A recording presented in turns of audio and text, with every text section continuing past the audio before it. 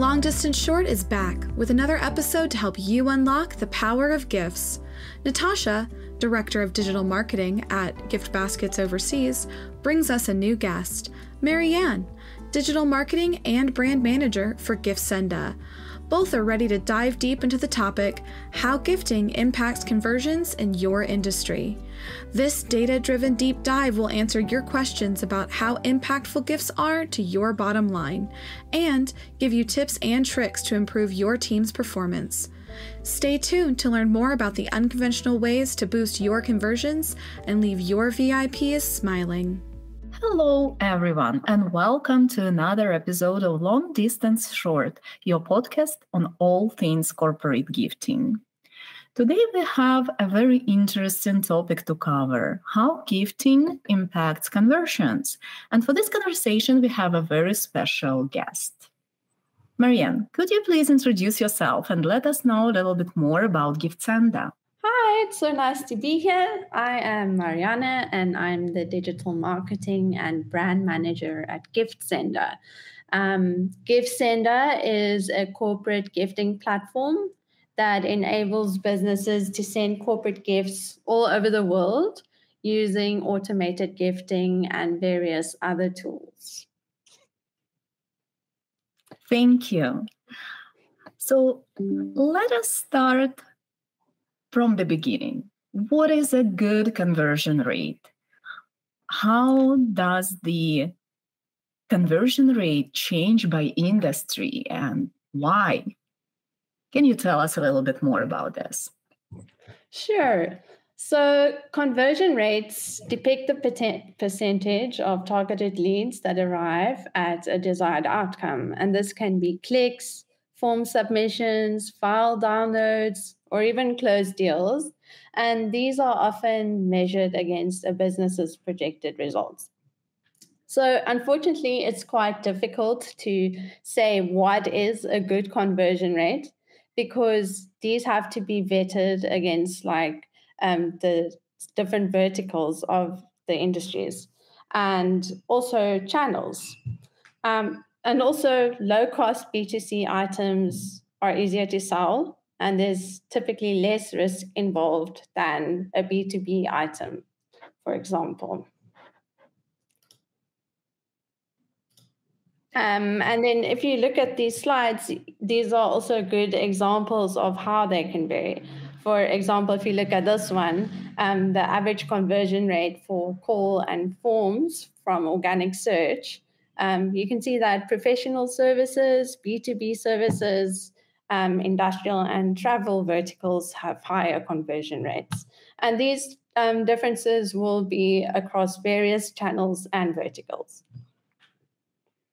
Thank you. It's quite interesting. So, from what I'm seeing here, is actually dependent on the industry your company is in, your product, the nature of your product, and also the channel that you are trying to sell it through. The conversion rates for uh, different types of communications with your potential clients will be quite different. Exactly. So that's also why one would adjust the way that you are trying to achieve these conversion rates according to your needs.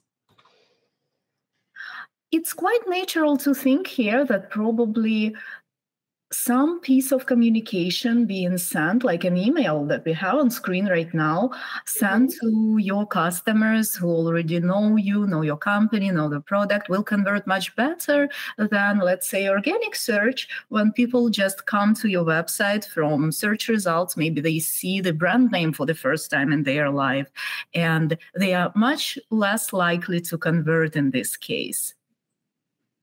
Yeah. Sure. So let's talk about unconventional ways to boost the uh, closing rates, to boost the conversions, uh, converting people to uh, to uh, buy the product. What can you tell us about the unconventional ways to improve this? So um, Gifting is one of these unconventional ways that you can increase your conversion rates. And it's a great tool because it is something that businesses can use to build relationships um, and also nurture relationships. And some ways that you can use this, for example, is to use um, gift invites as a part of your meeting invites.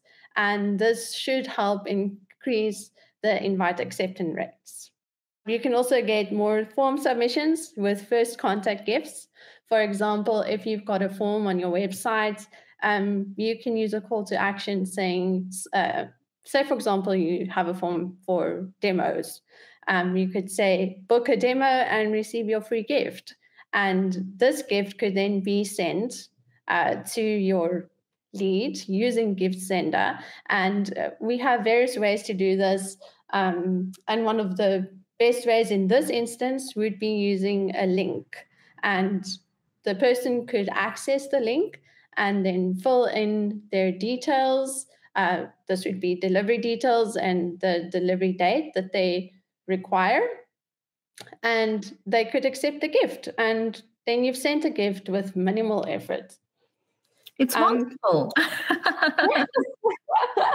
yeah, yeah, it's all about making things as easy as possible. And um, especially if you're sending gifts internationally, um, one doesn't always know the delivery details of your recipients, and it's also much safer to ask them to provide them to prevent failed deliveries, for example. And then also, you can send gifts to loyal customers for client retention. Um, we all know that nurturing your current clients is very important because getting new clients is much more expensive. So you can send gifts to them um, during milestones, for example, saying thanks for working with us for five years, or send them holiday gifts, or even if you've got a a business partner that you have been working with for a while and you understand their interests, maybe on their birthday, um, send them something personal that they will enjoy to make them realize and remember that you're putting them first and that you value their business. It totally makes sense. So it sounds like you can use this unconventional approach, very personal and human, on every step of the way of converting your customer. I can see that you have a, a, suggestion of coffee chats to increase meeting invites so when you are just getting to know your potential customer if you don't mm-hmm. just ask them for a call but you invite them for virtual or in-person coffee chat it can increase the likelihood of them actually accepting the offer but yeah. when you get deeper into the funnel, uh, you start using gifts. Do you think that sending the gift uh, to someone on the stage of coffee chat is a little bit too early? Yeah, uh, it probably is. you don't want the gift to come across as a bribe, for example. I know in some countries uh, this would not come across well. So using a coffee chat uh, or a coffee voucher um, is a it's a nicer way of doing it. And if you think about it, if you had an in-person meeting and you were a sales rep, you would probably pay for the coffee for that other person. So you're just taking it online now, and it also just shows that you're willing to um, put some money uh, into the relationship. Yeah. Um, yeah. And it's, I mean, uh, sorry. um, another thing that you could do, and this is later in the funnel, is to use gifts to reignite cold leads. Um, a way that you could do this is, for example, if you're using HubSpot or Salesforce, um, pull up a list of all your cold leads, um, and then you could integrate this with Giftsenda and creates a special campaign for these people with a nice message and maybe a gift uh, that is not too expensive, um, just to sort of get the conversation going. And once you have that, then you could possibly convert more of these leads and turn them into actual customers. It's a wonderful idea, I think. So we have introductory strategy here. We have means to increase uh, submission uh, of forms or people revealing their contacts in some kind of an exchange for gifts. Uh, we can also uh, retain loyal customers better and improve uh, improve relationships with them and uh, wake some sleeping contacts with as well. I think it's it's wonderful. So yeah, there's a gift for every occasion. yeah, yeah, for sure. Let's jump on our next question. Why do you think that this um, mean of improving conversion rates is unconventional?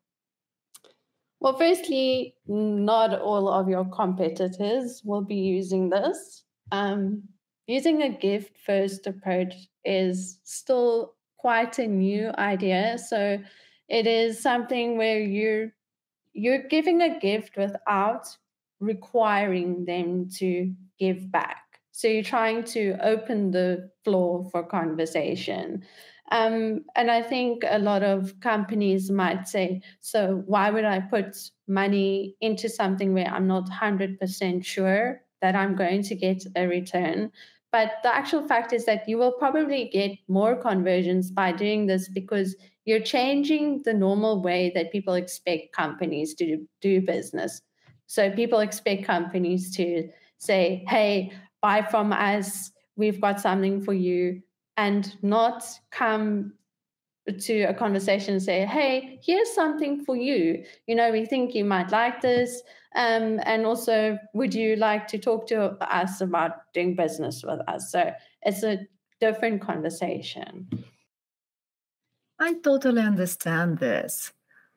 I think that, you know, having something in your lead converting arsenal that is not used by all of your mm-hmm. competitors, mm-hmm. something that uh, as you say, breaks away from uh, from others' uh, sales approaches, is really really yeah. interesting thing to have. As a customer of so many businesses, I would say that they have much higher probability of having a conversation with me if they don't just send me an email saying, we can solve all of your problems, let's chat. If it's something like, let's have a coffee chat, coffee is on us. and you yeah. you can choose uh, the time when you want to have this conversation. I I would probably consider talking to them much uh, much more seriously than uh, than I usually do with all this, you know, cold sales outreach emails that I receive, and having uh, re- uh, received some gift or any token of attention and appreciation from the company that I have some business with probably will influence my decision to stay with them or to be upsold at some moment with their services. No matter how we humans try to stay logical and, you know, cold calculating, we are still influenced by these emotions of reciprocation and and this kind of um, connection with even with the businesses, not with individuals. So I think it's it's really a good and conventional method to try and, and increase conversions of your leads to customers or visitors to your website or uh, someone on your email list to to your actual active leads. It's a good one. Yeah, and I mean, who doesn't like receiving a gift? I don't. sure, especially if I can choose one. Uh, yeah, yeah. You know my preference well. So research comes into play as well for the business that wants to influence their customers. Yeah, definitely. And I mean, also, for example, if you if you could choose your gift, which is also possible, there um, one can send gift collections, and the person can choose a gift from that collection that they would like most the fact that you're letting them choose something that they like instead of sending them a generic cap with a logo on or a coffee mug. You're letting them maybe choose a gift basket or something for their desk. And if they don't necessarily book a meeting now, uh, they they will receive the gift and it'll stand on the desk and they'll look at it and it will be a reminder. And maybe a week or two later, they think, hey, oh, I was looking at this company. Let me book that meeting. So it might also be a sort of longer game in some instances. Sure. And to wrap up this conversation about the gifts as the mean to uh, to improving conversion rates, can you please tell us a little bit more technical aspects of platform solution? How do businesses benefit from using a platform solution for their gifting needs? Uh, sure. So I think the one thing that people would think first about saying, okay, how how can I use gifting for my business? Um, but you would also want to track it, right? You don't want to just spend money on gifts and not be able to track the return on investment. So that is one of the main features of the platform is that you are able to see the return on investment of your gifting activities. Um, all the campaign results are tracked on a dashboard, and you can also export reports to look at it and optimize your campaigns. Um, so, tracking is one of the main things. Um, and another thing is so, when you are trying to send gifts internationally, it can be quite difficult because if you weren't using a gifting platform that allows you to do this, you would have to do research um, in, say, for example, you want to send to Poland, Canada, USA, India, you would have to go to websites in all those countries, maybe use Google Translate to understand the shops. Um, so this seems like a lot of time and effort. Um, but what a platform does, uh, it houses all the gifts in one space. You can specify which countries you want to send to, select those gifts. And if there's something that you want to send and it isn't on the catalog, you're always able to reach out to the Giftsenda team and we'll try and source that for you and make it happen. So basically, you can buy, send, and track all your gifts in one central space. It's um, wonderful. yeah, yeah, it's it makes it much easier. Um, and then another thing is uh, a lot of companies also use CRMs. Um, so you can integrate your Salesforce and HubSpot CRM with Giftsenda. So this means that you can send gifts directly from within your CRM to your contacts. And this is all still tracked. It just fast tracks your gifting. Um, and we also have a Gmail add on, so you can send gifts from within Gmail. So you can create your gift link and add it to the Gmail, and you can share gift links to a thousand people if you want to. Um, the the cool part of the gift link is that they can choose the gift they want, provide their um, address and details, and only once you have accepted their acceptance of the gift will you be charged. So you won't be spending money that you don't want to spend. Um, that's quite a cool feature. Sorry. And then, um, yeah, so the other thing is bulk gifting. Um, you can send gifts in bulk very easily using the platform.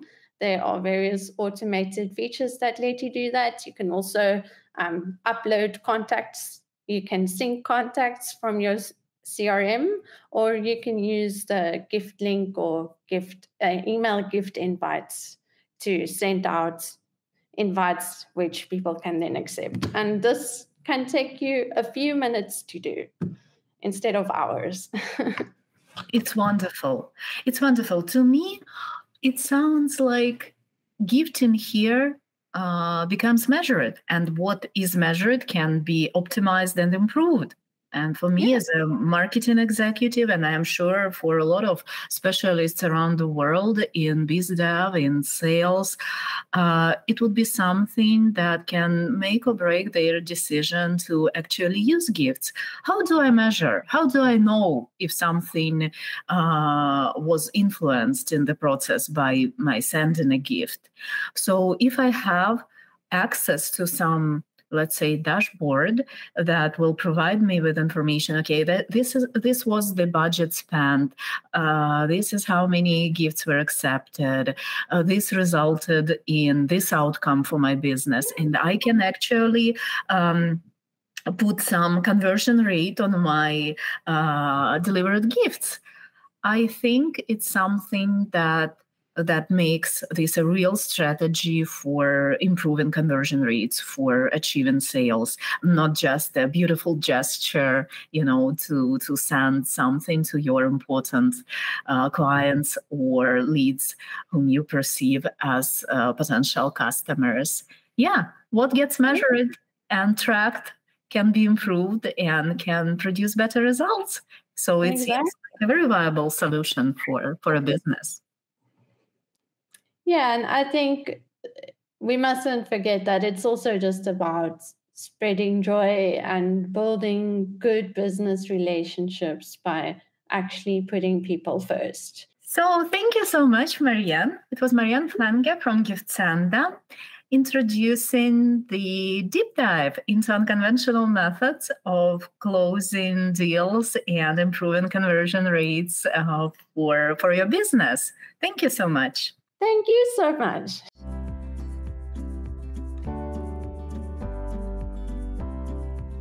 This has been another episode of Long Distance Short, your podcast for tips, tricks, and real life stories of how to make the most of any long distance relationship. If you want to learn more about a corporate gift campaign with giftbasketsoverseas.com, you can email the team at corporate at giftbasketsoverseas.com. Call toll free for the US and Canada at 1 888 673 2822 or request a call by going directly to the website www.giftbasketsoverseas.com.